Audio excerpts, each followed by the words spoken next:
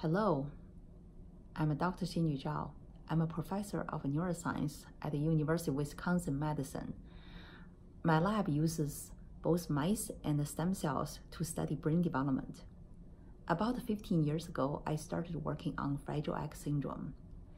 The reason is because I wanted to know how the mutation of one single gene can have such a profound impact on human life. In this project, we aim to investigate whether mitochondria can be a new drug target for Fragile X syndrome. Mitochondria are small organelles inside almost every single cell. They are the powerhouse of the cell that producing energy, which is important uh, for both the development and function of the cell. In my lab and also other labs, we have used um, mouse models for Fragile syndrome, so-called Fragile mice.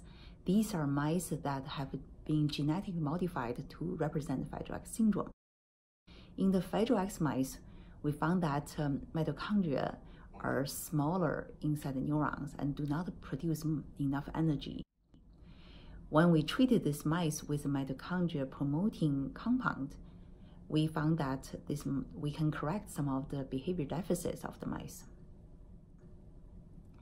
In this current project, we aim to use human Fragile neurons and to study whether we can use mitochondria promoting drug-like compound to correct Fragile X deficit.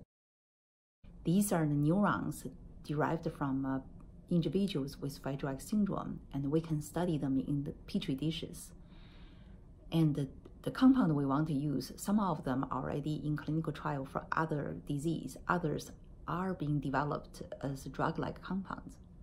The goal is to develop a new treatment that can be effective for Fragile syndrome.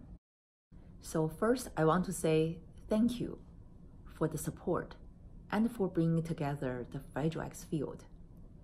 FRAXA has been the driving force for Fragile X research. Over the years, FRAXA provides research support that allow us scientists to explore novel ideas for understanding X syndrome and for developing treatment. In addition, FRAXA also bring together multi-aspect X research, including basic scientists like me, clinicians, clinical scientists, trainees, and patients. Thank you for leading the force. And with your leadership, I think we can do it. I have received emails and phone calls from Fragile X families asking about the cure, whether there will be a cure or when the cure will be developed. I can assure you, as a scientist and a mother of three children, I'm highly motivated to work really hard towards a cure for Fragile X syndrome as soon as possible.